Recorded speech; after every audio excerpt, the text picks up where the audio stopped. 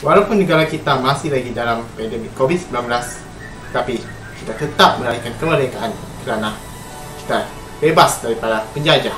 Bagaikan COVID-19 adalah musuh kita Dan foreigners merupakan tentera untuk melawan COVID-19 Terima kasih kepada pemimpin dan rakyat kita Kerana bekerjasama untuk menghapuskan pandemik COVID-19 di negara kita Bersama mencapai kemakmuran dan keamanan di negara kita.